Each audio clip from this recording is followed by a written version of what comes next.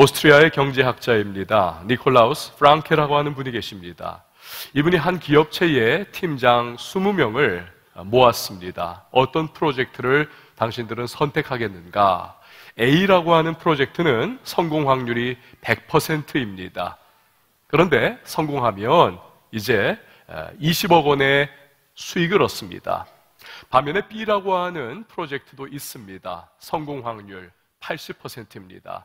그런데 완수하면 50억 원의 수익을 얻습니다. 무엇을 선택하겠는가? 여러분이라면 A와 B 프로젝트 가운데 어떤 것을 선택하시겠습니까? 팀장 20명 전원이 A 프로젝트를 선택을 했습니다. B를 해내면 두 배가 훨씬 넘는 큰 수익을 얻을 수 있음에도 불구하고 아무도 20%의 실패를 감수하고자 하지 않았다는 것입니다. 여러분, 사람은 누구나 실패를 두려워합니다. 하지만 현실은 우리는 누구나 크고 작은 실패를 하고는 한다는 것이지요. 그러므로 진짜 문제는 실패를 하느냐, 하지 않느냐가 아닙니다. 실패는 하지만 그 실패를 과연 어떻게 극복하느냐, 이것이 우리 인생의 진정한 관건인 것입니다. 오늘 본문에서 우리는 실패 극복의 원리를 봅니다. 이 말씀을 통해서 실패를 만났을 때 절망하고 좌절과 낙담 속에 주저앉는 것이 아니라 다시 일어나서 전진해 나갈 수 있는 저와 여러분이 될 수 있기를 바랍니다. 예수님의 제자들은 실패자였던 사람들입니다. 지난 3년 동안 동고동락한 예수님을 종교 지도자들과 관원들이 보낸 군병들로부터 지키지 못했습니다.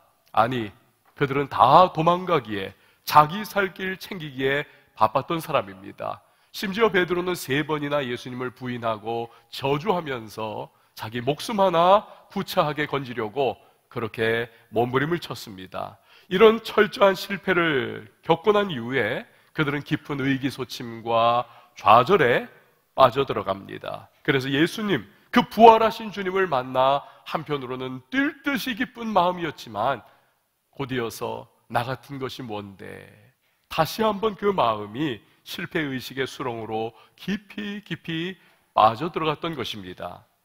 3년 전에 떠나왔던 갈릴리로 그들은 다시 돌아갑니다.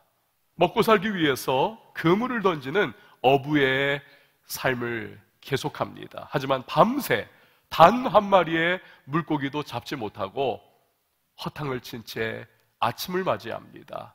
낙심하고 좌절하고 옛날에도 실패했는데 내가 그렇지 뭐 하는 그러한 빈 마음을 가지고 그들은 무틀 향해 나아가고 있습니다.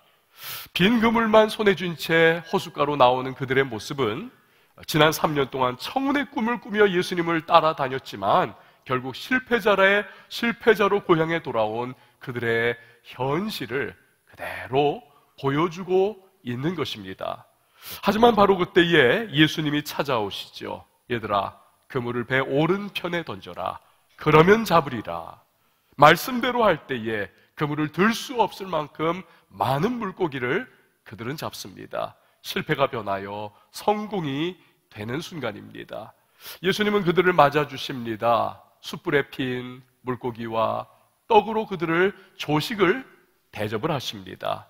오늘 본문 14절은 그 상황을 이렇게 설명을 하고 있습니다. 이것은 예수께서 죽은 자 가운데서 살아나신 후에 세 번째로 제자들에게 나타나신 것이라. 예수님께서 나타나시는 그 순간부터 그들의 삶의 현장에 다가와 주시는 순간부터 뭔가 실패 인생의 변화가 일어나더라는 것입니다. 우리는 여기서 실패 극복의 첫 번째 원리를 발견합니다. 그것은 예수께서 내 삶에 찾아오실 때 새로운 시작이 있다는 것입니다. 저를 한번 따라해 주시기 바랍니다. 예수님이 내 삶에 찾아오실 때 새로운 시작이 있다. 할렐루야. 제자들이 고향 땅 갈릴리로 돌아왔습니다. 예수 없이 지냅니다. 이 순간은 그들은 지난 3년 동안에 예수님 쫓아다니던 세월 다 낭비해버리는 것과 마찬가지의 실패자 로서의 삶을 사는 것입니다. 아니, 그들보다 더 처참한, 더 처절한 실패자는 없을 것입니다. 왜냐하면 길이요 진리요 생명이 되시는 예수 그리스도 그분을 떠나고 부인하는 것보다 더 큰 실패가 세상에 어디 있겠습니까? 하지만 부활하신 예수님께서 그들을 찾아와 주시더라는 것입니다. 그럼으로써 실패한 제자들을 용납해 주십니다. 그들을 넓은 품으로 끌어안아 주십니다. 그들의 모든 낙심과 배신과 좌절의 쓴 마음까지도 다 품어주시는 것입니다. 이런 예수님으로 인해서 그들은 자기들이 저지른 실패로부터 다시 일어날 용기를 얻더라는 것이죠. 여러분, 오늘도 마찬가지입니다. 예수님이 품어주지 못할 사람은 없음을 믿으시기를 바랍니다. 세상은 이구동성으로 우리에게 너는 끝났어라고 이야기를 할지 몰라요. 오늘 이 자리에 실패하고 그 실패에 쓴 눈물을 삼키며 앉아있는 누군가가 계실지도 모릅니다. 세상은 돌을 던지는 것과 같이 비난하고 너 같은 것이라고 그렇게 이야기할지 몰라요. 하지만 예수님은 말씀하십니다. 아니야. 절대 절망과 인류 최악의 실패인 죽음을 정복하고 절대 희망인 부활을 이룬 내가 너와 함께하면 너는 얼마든지 다시 시작할 수 있어. 나를 믿어. 우리 예수님 말씀하시는 것입니다. 여러분, 이런 예수님이 이제는 성령으로 우리 안에 함께 거하고 계시는 것입니다. 그렇게 우리는 내 안에 계신 예수님으로 인하여 어떠한 실패의 현장, 어떤 실패의 상황 속에서도 다시 시작할 수 있음을 믿으시기를 바랍니다. 창세기를 한번 보십시오. 천지 창조를 하실 때에 하나님께서 무에서 유를 창조하십니다. 온 세상이 혼돈, 카오스 상태였습니다. 그 무질서에서 하나님은 질서를 이루어내시지 않습니까? 여러분, 이러한 하나님은 실패로 인해서 내 삶이 혼돈에 빠졌을 때, 카오스와 같이 뒤죽박죽 인생이 되었을 때, 모든 것을 잃은 무의 상황이 되었을 때, 그럼에도 불구하고 새로운 유를 창조하시고, 질서를 부여하시고 우리의 인생 가운데 하나님의 새로운 시작을 일으키실 수 있는 분임을 믿으시기를 바랍니다. 여러분 오늘 우리 우리는 오늘부터 태신자 아, 운동을 이제 작정을 시작을 했습니다. 태신자는 누구일까요? 많은 규정을 할 수 있겠죠. 그러나 성경이 말하는 우리의 전도 대상자, 주님을 알지 못하는 자에 대한 정의는 그들은 실패자라는 것입니다. 왜 그렇습니까?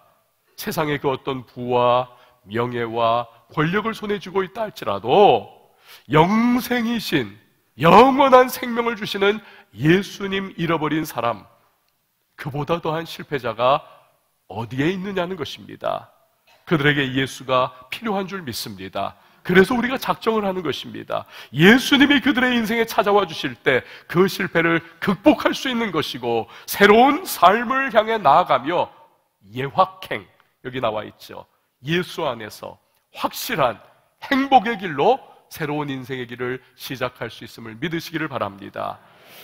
그래서 그것을 돕기 위해서 우리가 작정을 하는 겁니다. 작정으로부터 그들 인생의 새로운 시작, 예확행의 발걸음이 시작하는 것이죠. 튤리안 차비진이라고 하는 목사님이 계십니다. 이분 꽤 유명한 분이십니다. 두 가지가 특별히 유명한 건데 첫 번째는 20세기 최고의 세계적인 부흥사인 빌리그레암 목사님의 외손자입니다. 그 엄청난 집안 내력을 가지고 있는 분이죠. 그런데 거기다가 설교도 기가 막히게 잘하고 책도 얼마나 잘 쓰는지 모릅니다. 젊은 나이에 벌써 여러 권의 책을 쓰고 우리나라에도 그 몇 권이 번역되어 출판됐습니다.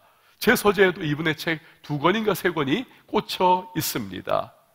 게다가 코럴 리츠 장로교회라고 하는 미국의 유수한 교회에 대형 교회에 아, 그가 담임 목사 부임을 하고 정말 잘 나가는 그러한 성공 가도를 달리고 있던 분이십니다. 집안 좋지요. 인물 잘났지요. 실력 있지요.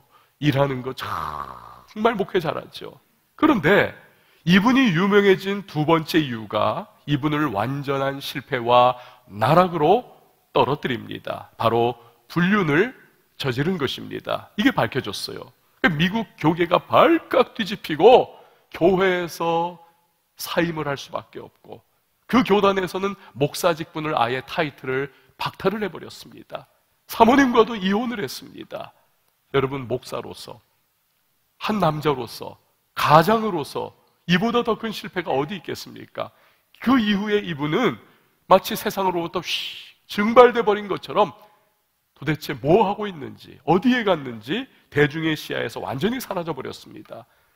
그러다가 얼마 전에 이분이 이런 글을 올렸습니다. 들어보세요. 여러분이 나에 관해 어떤 나쁜 일을 들었거나 읽어 보았다 해도 그것이 진실이든 거짓이든 상관없이 나는 그보다 더 좋지 않았다고 분명히 말할 수 있습니다. 자신의 죄와 실패를 가감없이 그대로 고백하고 인정을 하는 겁니다. 근데 그 다음 말이 의미가 깊습니다. 내가 지난 40년 동안 지은 모든 죄가 누구에게나 다 알려진다 해도 여전히 나를 사랑해 주실 분은 오직 예수님 한 분임을 나는 확신합니다. 의심과 절망의 가장 어두운 순간에도 그분이 나와 함께 하셨다는 사실이 나는 정말 놀랍습니다. 그런데요, 곧이어 그는 자신이 지은 죄의 결과로 겪었던 그 힘든 마음도 이렇게 고백을 해요. 하나님은 내게 가족, 사랑하는 사람들, 소명, 생명의 말씀, 그리고 그것을 전할 강단을 주셨었습니다. 난 그 모든 것을 날려버렸습니다. 내가 한 가지 알게 된 것이 있습니다. 나와 같은 많은 사람들이 있다는 것입니다. 과거의 행위와 실패 때문에 죄책과 부끄러움, 후회와 슬픔을 안고 살아가는 사람들이 있습니다. 이들은 과거로 돌아갈 수 있다면 다른 선택을 할 수 있지만 그렇게 할 수 없는 현실 때문에 고통을 받습니다. 그런데 그 다음 말이 가장 의미가 깊습니다. 이렇게 말을 합니다. 나를 따라서 당신의 가장 깊은 바닥까지 내려오십시오. 그리고 그곳에서 함께 소망과 위로와 사랑과 용서와 은혜와 자비를 발견합시다. 우리 모두 죄인이라는 그 나쁜 소식이 하나님께서 죄인의 깨어진 마음을 치유하시고 용서하시고 사랑하신다는 좋은 뉴스, 즉 복음과 그곳에서 만나기 때문입니다. 여러분 그렇습니다. 예수님 안에는 얼마든지 새로운 시작이 있음을 믿으시기를 바랍니다. 예수님이 내 삶에 찾아오실 때에 나에게는 새로운 인생, 새로운 기회, 새로운 문이 열리는 것입니다. 저는 이런 재미있는 얘기를 들은 적이 있어요. 노처녀가 결혼하는 순간 세댁이 된다.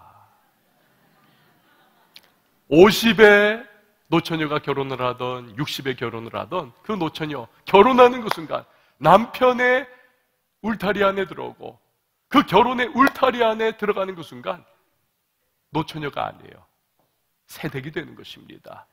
여러분 마찬가지로 예수님이 우리 인생에 찾아오시고 우리가 예수님 안에 들어간다면 우리의 삶에 새로운 시작이 우리 앞에 얼마든지 펼쳐질 수 있다는 사실입니다.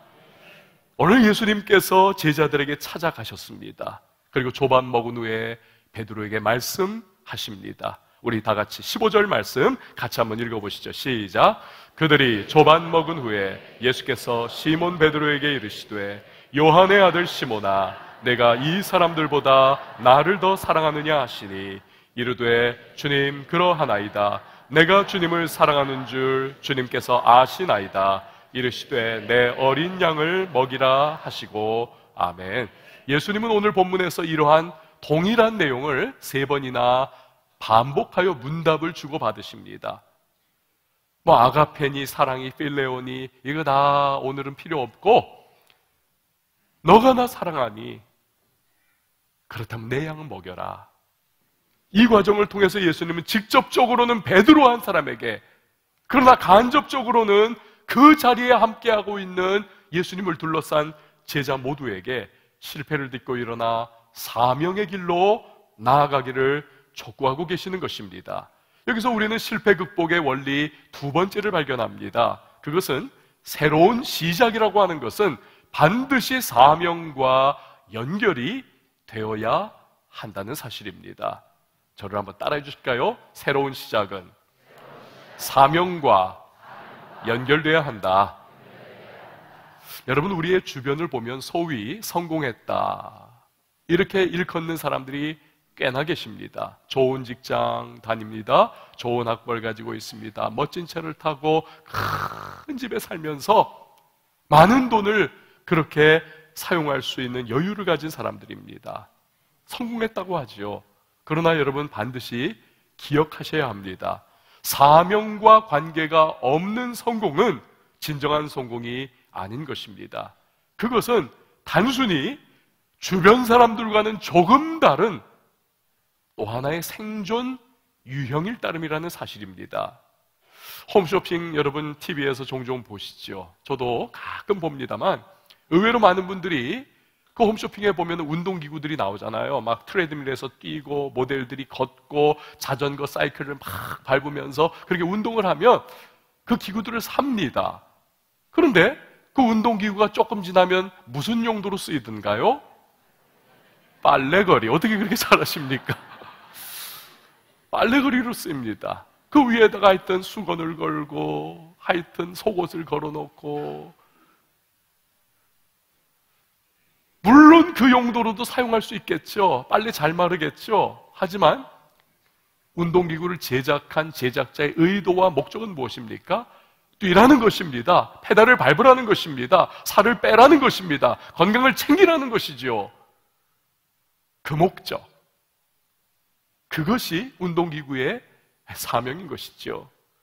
여러분, 우리의 사명 어떻습니까? 하나님이 우리에게 실패를 극복하고 새로운 기회를 주셔야 할 도대체 이유가 무엇입니까? 나 잘 먹고 잘 살라고요? 또 하나의 성공시나 쓰게 하시려고 우리에게 새로운 시작과 새로운 기회를 그래서 하나님이 주시는 것입니까?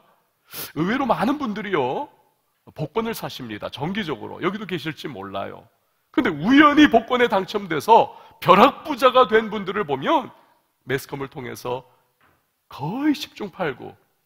이전보다 인생이 더 무너지고 완전히 주저앉는 경우들을 그렇게 소식을 접합니다. 파산을 해버리고 강도가 들어와가지고 심지어는 목숨을 잃고 부부가 이혼을 하고 없을 때는 잘 살았는데 근근히 살 때는 그래도 서로 간에 위해주면서 가정을 꾸렸는데 복권에 당첨되고 엄청난 돈이 쥐어지니 가정이 깨져버리는 아이러니가 생깁니다. 왜 그럴까요? 사명과 관계없는 불로소득이기 때문에 그렇습니다. 잘 될 수가 없어요. 심지어는 한 연구팀이 조사를 했습니다. 그랬더니 복권에 당첨돼서 돈을 펑펑 쓰는 사람, 그 가정 주변에 살고 있는 이웃들도 파산하는 확률이 다른 사람들보다 훨씬 높아지더라는 겁니다. 뭘 보여줍니까? 복권 당첨돼서 막 쓰다가 파산했어요. 근데 저 사람들이 복권에 당첨된 돈을 막 쓰는 걸 보면서 거기 영향을 받아서 자기도 없으면서도 불구하고 그냥 그 모습 바라보면서 돈을 막 쓰더라는 겁니다. 함께 몰락하는 거죠. 여러분, 사명과 연결되지 않은 성공은 나도 망치고 남도 망치는 경우가 많은 것입니다. 자, 다시 아까 했던 질문으로 돌아가 봅니다. 하나님이 우리에게 실패를 극복하고 새로운 기회를 주셔야 하는 이유가 과연, 과연 무엇입니까? 그것은 이제는 주님이 맡기시는 사명의 길을 걸어가라는 것입니다. 아멘. 아주대학교 중증 외상 센터장인 이국종 교수 아시죠? 이분이 이미 우리나라에서는 유명한 분이 아닙니까? 근데 제가 이분의 그 인터뷰 기사를 보니까 이 몸 상태가 말이 아니더라고요. 일단 왼쪽 눈이 실명을 했습니다. 세월호 현장에 갔다가 어깨를 다쳐가지고 부러졌는데 이게 아직도 불편하다고 합니다. 닥터 헬기라고 하죠. 그 긴급 헬기 타고 섬 지역에 가가지고 주민 치료해야 되는데 마음이 급하니까 이게 다 착륙을 제대로 하기 전에 툭 뛰어내렸다가 다리를 다쳐서 무릎이 이게 연골이 잘못돼서 지금도 불편합니다. 만성 위염에 시달리고 고혈압으로 고통받고 36시간 연속으로 밤새서 막 중증 외상이니까 환자들이 막 그냥 어디 부러지고 깨지고 이거 다루느라고 36시간 잠 못 자고 연속으로 그 센터를 지키는 일이 반복되다 보니까 고질적인 수면 부족에 시달리고 있습니다. 여러분, 이분은 의사입니다. 대한민국 1%입니다. 얼마든지 잘 먹고 잘 살 수 있습니다. 그런데 왜 세평짜리 병원 연구실을 베이스 캠프 삼아서 거기에서 먹고 거기서 자면서 그렇게 중증 외상 환자들을 그렇게 돌보고 있습니까? 이것이 나의 사명입니다. 나의 사명입니다. 이분이 예수 믿는지 안 믿는지는 몰라요. 만약에 예수 안 믿는다면 우리에게 더 큰 도전이 아니고 무엇이겠습니까? 우리는 그렇다면 적어도 하나님 백성인 우리 아닙니까? 주님이 실패를 극복하고 새로운 기회를 주시는 것은 나만을 위해서 사는 것이 아니라 사명을 위해서 살아라. 주님이 맡기신 사명을 위해서 살라고 하는 것임을 여러분 믿으시기를 바랍니다. 바울을 보십시오. 유대교의 그 누구보다도 열심을 냈었습니다. 동년배 그 누구보다도 하나님 내가 더 열심히 섬겨야 되겠다. 근데 그 열심이 이게 하나님 위한 것이다. 이게 민족을 위한 것이다라고 생각했던 그 열심이 실은 예수를 핍박하는 것이었고 교회를 회파하는 것이었고 그 열심이 성도들을 잡아 죽이는 회방의 도구가 되더라는 거지요. 이 마귀의 노릇하더라는 것입니다. 그러나 그러한 실패 인생, 성공 인생인 줄 알았던 자기 자신이 진정한 실패 인생이었다는 사실을 그가 담에색 도상에서 깨닫지요. 주님이 찬란한 빛 가운데 임하시면서 그가 눈이 멀고 거꾸러진 그 순간부터 아, 잘못 살았구나. 그런데 예수님께서 찾아오신 것은 그냥 찾아오신 것이 아닙니다. 이방인 구원의 사명을 그에게 맡기시는 거죠. 그 사명을 감당하는 바울에게 새로운 인생의 문이 활짝 열리게 되더라는 것입니다. 할렐루야. 여러분, 오늘 예수님은 철저히 실패한 제자들에게 찾아오십니다. 새로운 시작을 주십니다. 또한 그 시작을 통해 사명을 감당케 하십니다. 새로운 시작은 사명과 연결될 때에 비로소 의미가 있는 것입니다. 저와 여러분에게 주님이 오늘 기대하시는 것도 바로 그것인 것이죠. 자, 실패자였던 베드로가 새로운 시작과 함께 사명을 받습니다. 우리 18절과 19절 말씀 같이 읽어보도록 하겠습니다. 시작. 내가 진실로 진실로 내게 이르노니 내가 젊어서는 스스로 띠뛰고 원하는 곳으로 다녔거니와 늙어서는 내 팔을 벌리리니 남이 내게 띠띠우고 원하지 아니하는 곳으로 데려가리라. 이 말씀을 하시면 베드로가 어떠한 죽음으로 하나님께 영광을 돌릴 것을 가리킴이심이라 이 말씀을 하시고 베드로에게 이르시되 나를 따르라 하시니 아멘. 베드로에게 가장 영광스러운 천국의 가장 큰 상인 순교의 사명을 그에게 맡기시는 것입니다. 근데 이 중차대하고 장엄한 순간에 베드로가 하는 걸 보십시오. 옆에 있던 애제자 예수님의 애제자인 요한을 보면서 엉뚱한 질문을 하죠. 21절 같이 봅니다. 시작. 이에 베드로가 그를 보고 예수께 여짜오되 주님 이 사람은 어떻게 되겠사옵나이까? 아멘. 자, 여기서 우리는 실패 극복의 원리 세 번째를 발견을 합니다. 그것은 비교 의식의 함정에 빠져들지 말라는 것입니다. 비교 의식의 함정. 여러분 베드로는요 자기 사명에만 충실하면 되는 것입니다. 하나님과의 관계 속에서 나에게 맡기신 맞춤형 사명이 있습니다. 요한은 요한에게 하나님께서 주신 그만의 사명이 있는 것입니다. 그러나 비교의식의 함정에 빠져들어서 저 요한은 과연 어떻게 되는 것입니까? 이게 궁금한 것입니다. 나와 비교하라는 것이죠.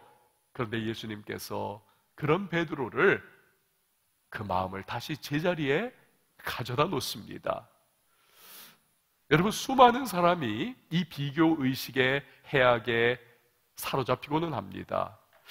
히틀러를 한번 보세요. 2차 세계대전 일으켜서 인류사에 엄청난 해악을 끼친 인물이 아닙니까?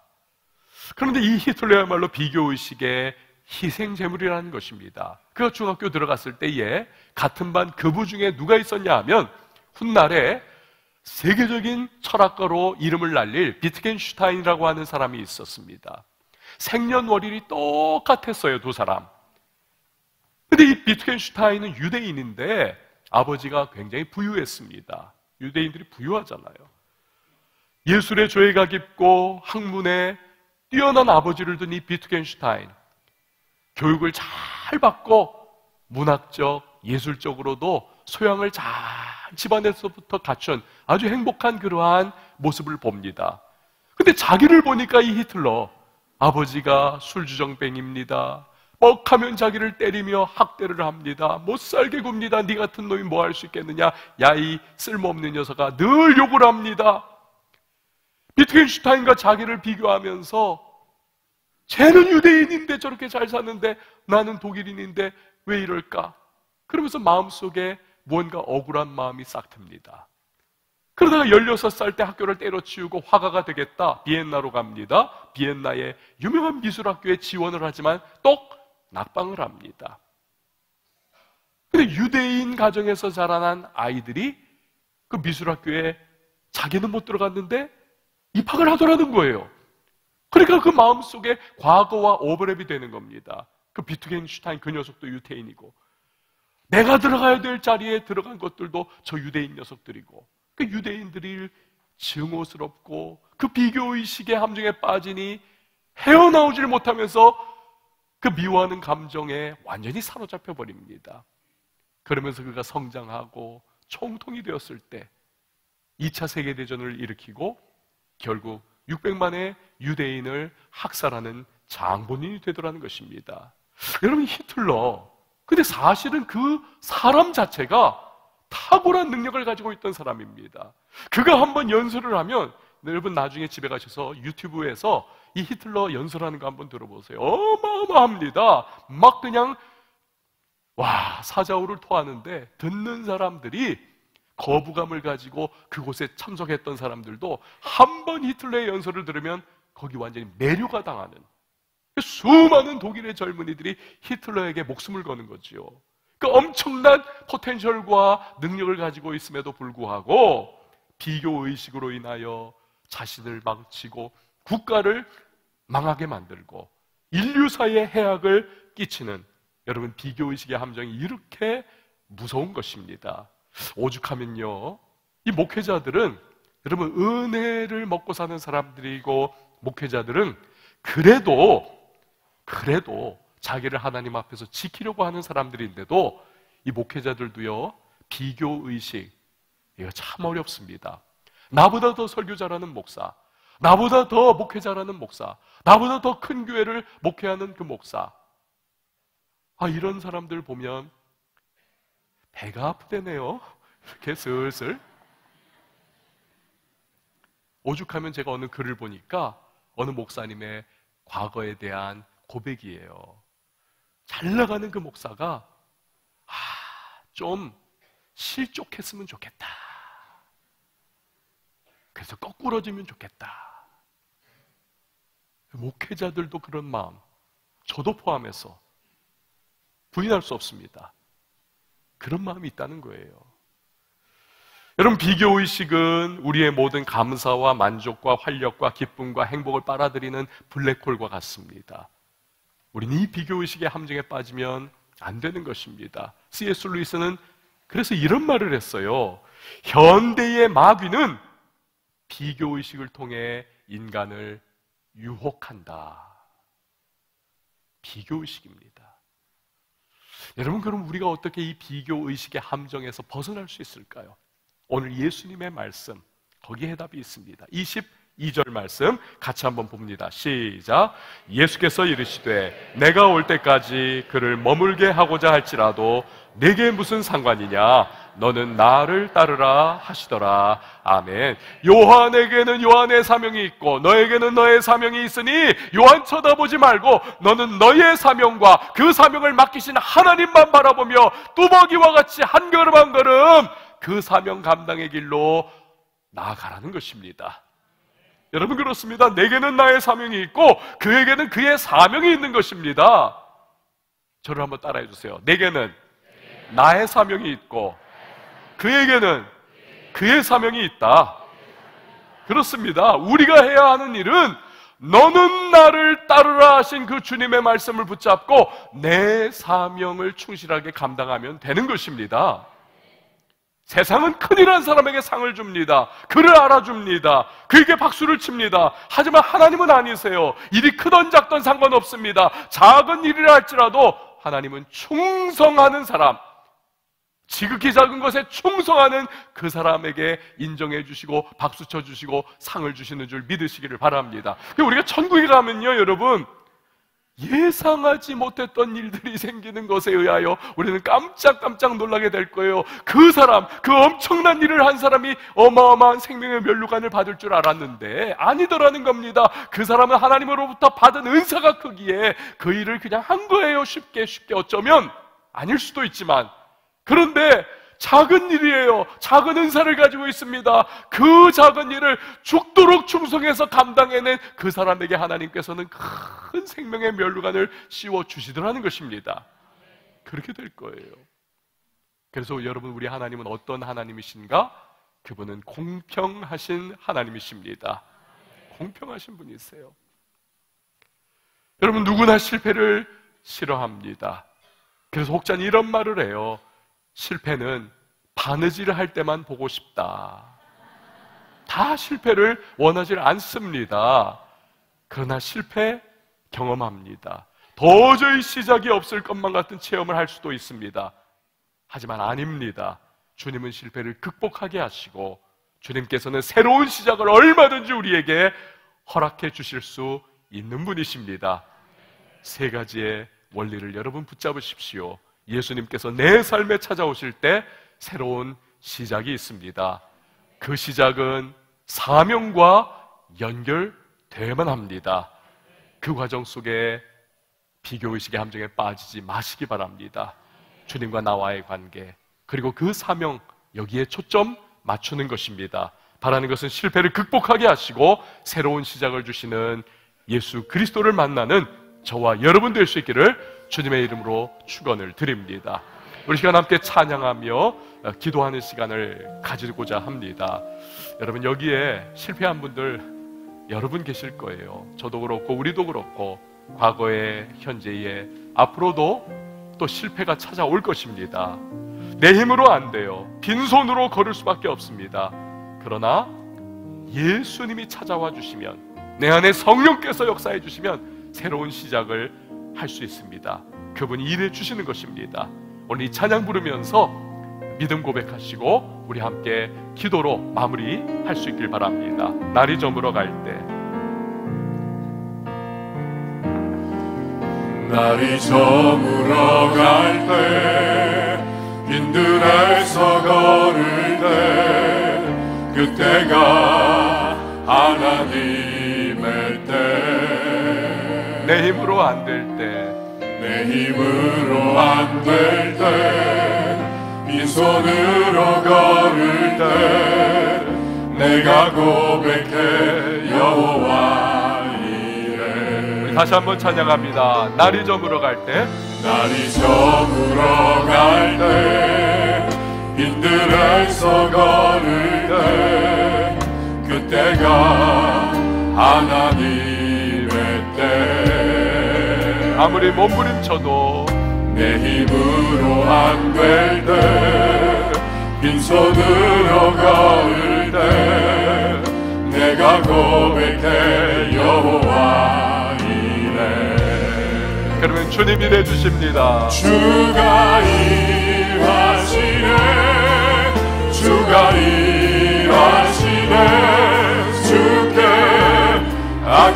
않는 자에게 주가 일하시네 주가 일하시네. 신뢰하며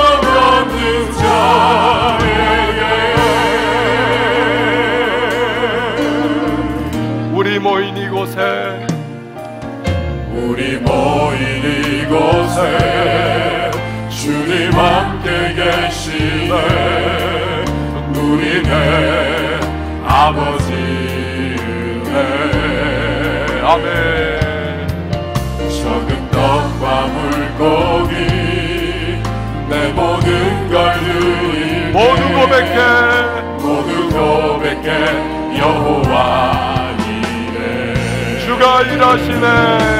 주가 일하시네. 주가 일하시네. 주께 아끼지 않는 자에게.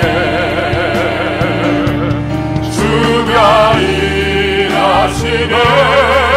주가 일하시네.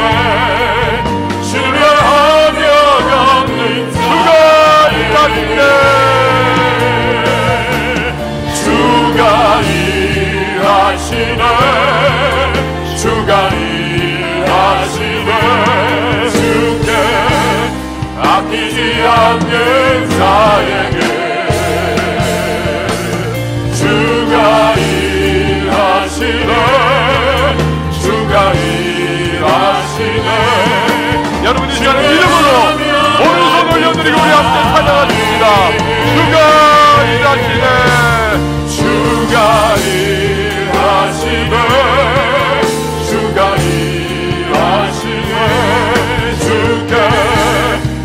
아끼지 않는 자에게 주가 일하시네 주가 일하시네 신뢰하며 가는 자에게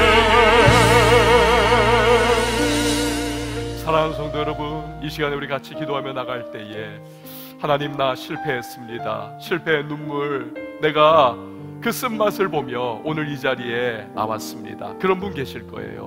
아니, 우리 모두 다 과거의 실패를 경험했고 오늘 실패의 위기를 체험하며 내일 실패가 언제 찾아올지 모르는 조마조마한 인생 삽니다. 시작이 없을 것만 같은 그러한 느낌 받을 수도 있습니다. 아니에요. 주님께서 나와 함께 하시기에 성령으로 나와 동행하시기에 얼마든지 우리는 실패를 극복할 수 있습니다. 문제는 내가 그 새로운 시작을 사명과 연결시켜 다시 시작하느냐입니다.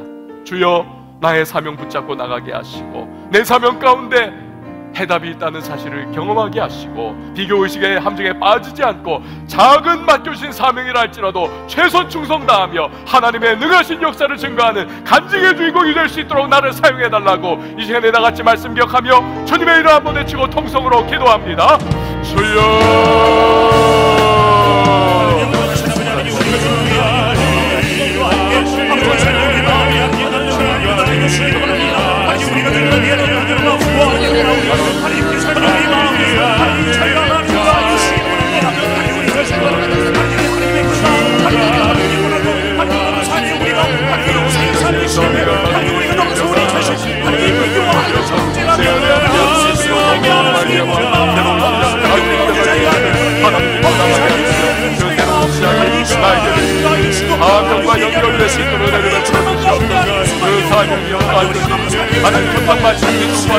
다른 사람 돌아보지 않게 하시고 비교의 양에 하시고 맡기신 사명 해서 충성 다하여 하나님의 놀라운 능력을 증거하며 하나님이 내 삶에 어떤 역사를 베풀어 주셨는지 증거할 수 있는 간증의 수 있도록 주여 도우시고 인도하여 주시옵소서. 하나님 아버지 예수 안에서 얼마든지 우리 다시 시작할 수 있음을 믿습니다. 그 새로운 시작, 하나님이 맡기신 사명으로 연결하게 하여 주시옵소서. 아울러 그 사명의 길 믿음의 발걸음으로 나갈 때 주변 사람들 비교하며 그 함정 빠져들지 않게 하시고 하나님께 초점 맞추고 내 사명에 초점 맞추어 주께서 인생 어떻게 회복시키셨고 어떻게 새로운 시작을 나에게 주셨고 어떤 일을 이루셨는가를 증거할 수 있는 간증의 주인공들 되게 하여 주시옵소서. 예수님의 이름으로 기도하옵나이다. 아멘.